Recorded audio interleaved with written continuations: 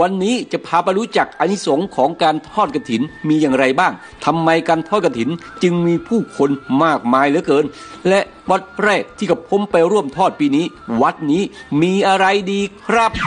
จู่โจมวัดบ้านแกอำเภอปากหายจังหวัดพระนครศรีอยุธยาการทอดกระถินต่างจากการทอดพระป่านะครับ เพราะการทอดกระถินเป็นพุทธานุญาต หรือพุทธบัญญัติขององค์สมเด็จสัมมาสัมพุทธเจ้า บุญมหาศาลทำยากกว่าบุญอื่น เพราะหนึ่งจำกัดด้วยเวลาต้องถวายภายในหนึ่งเดือนเท่านั้น ตั้งแต่ออกพรรษา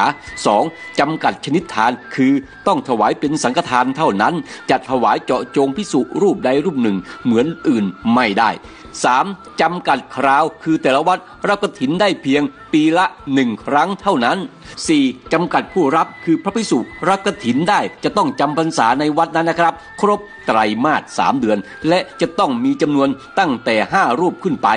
5. จำกัดงานคือเมื่อพระภิกษุรับผ้ากฐินแล้ว จะต้องกรานกฐินให้เสร็จภายในวันนั้นนะครับ 6. จำกัดการถวายคือทายทานที่ถวายต้องเป็นผ้าผืนใดผืนหนึ่ง ในไตรจีวรเท่านั้นนะครับอันนี้สงผลบุญของทั้งสองสิ่งสองบุญเนี่ยครับ จึงต่างกันครับ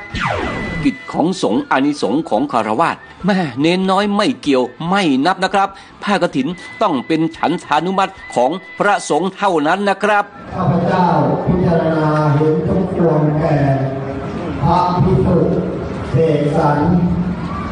อินตามโย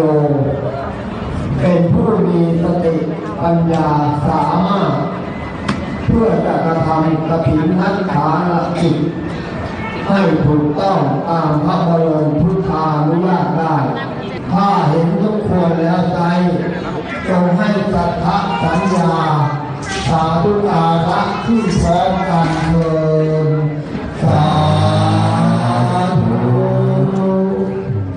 ในมหาสมาคมพระสงฆ์มีเพียงพระรูปเดียวเท่านั้นที่ได้ผ้ากฐินภาคภูมิใจมากครับ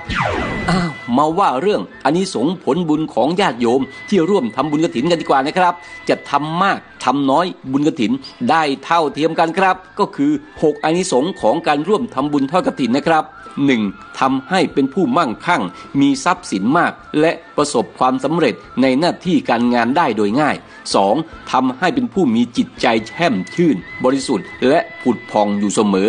3. ทำให้เป็นผู้มีจิตใจตั้งมั่น เป็นสมาธิและเข้าถึงธรรมได้โดยง่าย 4. ได้ชื่อว่าเป็นผู้สามารถใช้ทรัพย์สมบัติให้เกิดเป็นบุญกุศลติดตัวไปในภพเบื้องหน้าได้อย่างเต็มที่ 5. ทำให้เป็นคนรูปงาม ผิวพรรณงาม เป็นที่รักของคนทั่วไป 6. ทำให้เป็นผู้มีชื่อเสียงเกียรติคุณน่ายกย่องสรรเสริญ เป็นที่ตั้งแห่งศรัทธาน่าเคารพนับถือพ่วง ถามแรงตอบแรงทอดกระถินเสร็จนะครับก็ผมเหลือบไปเห็นบ่อน้ำกลางใจวัด โอ้โหบ่อน้ำวัดใหญ่ที่สุดในประเทศ อย่างนี้ต้องขอให้ผู้เฒ่าผู้แก่ 84 ปีและ 65 ปีเล่าให้ฟังแล้วล่ะครับ คุณลุงอายุ 84 ปี ใช่ ตอนนั้นใหญ่ขนาดนี้ไหมก็นี่แหละเท่านี้เลยบ่อเดิมนี่เลย น้ำกินน้ำใช้เป็นน้ำชายที่มาโลสองกิโลนี่คือต้องมาเอาน้ำที่นี่ เพราะว่าน้ำที่อื่นน้ำแห้งหมดสมัยก่อนเนี้ยระบบประปาหมู่บ้านนี่ไม่มีระบบประปานี่ไม่มีน้ำขึ้นขึ้นด้วย ก็ขุดบ่อเอาน้ำที่เนี่ยขึ้นมาใช้ น้ำประปาคือนานมาแล้ว ก่อนผมเกิดอีกเนี่ยหกสิบปีนะคือก่อน ใครเลยจะคิดว่าสมัยก่อนนะครับอำเภอผักไห่จะมีภัยแล้ง ปัจจุบันนี้ไม่มีแล้วนะครับทุกฝ่ายช่วยชาวบ้าน ช่วยชาติบูรณาการนะครับฮีฮีฮาฮาปันนักกับปางแหมด้วยความเป็นนักข่าวนะครับตะเบนมาทั่วทิศทั่วไทยครบ 77 จังหวัดแล้ว เข้าวัดเข้าวาไม่ต่ำกว่าร้อยถึง200 วัด แต่ที่นี่ มีใบเสมาอยู่นี่นะครับ แต่มีพญานาคนะครับเจ็ดเสียนคุมใบเสมาอยู่นะครับ ซึ่งแตกต่างจากวัดอื่นๆนะครับ อ้าว ขอพรพญานาคให้โชคให้ลาบช่วยอีกแรงนะครับ